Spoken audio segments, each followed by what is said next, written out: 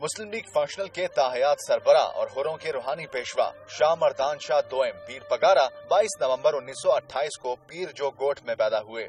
انیس سو چھیالیس میں گیارہ سال کی عمر میں انگریز حکومت نے ان کو نظر بند کیا اور برطانیہ منتقل کر دیا۔ وہیں آپ نے تعلیم مکمل کی۔ پیر پگارا نے انیس سو باون میں سیاسی زندگی کا آغاز مسلم لیگ قیوم سے کیا اور ایوبی آمریت کی حمایت کی۔ پیر صاحب کی ہدایت پر انیس سو اکسٹھ میں ہور فورس بنائی گئی۔ پینسٹھ اور اکہتر کی جنگوں میں ہور فورس پاک فوج کے شانہ بشانہ رہی۔ ضیاء الحق حکومت میں کابینہ کی تشکیل میں پیر پگارا کا اہم کردار رہا۔ انیس سو پچاسی میں فنکشنل لیگ تشکیل دی۔ پیر صاحب کی سیاسی پیشن گوئیاں اور انکشافات ہمیشہ سیاسی حلقوں اور عوام کی توجہ کا مرکز رہتے۔ پیر پگارا کو نایاب پرندوں کے شکار اور گھوڑوں کی دوڑ کرانے کا شوق تھا۔ مسلم لیگ کے تمام دھڑے اور دیگر سیاسی قوتیں بھی مشاورت اور حمایت کے لیے پیر پگارا کے گرد جمع ہو جاتی تھیں دس جنوری دو ہزار بارہ کو سیاست کی یہ جہاں دیدہ شخصیت خالقی حقیقی سے جا ملی۔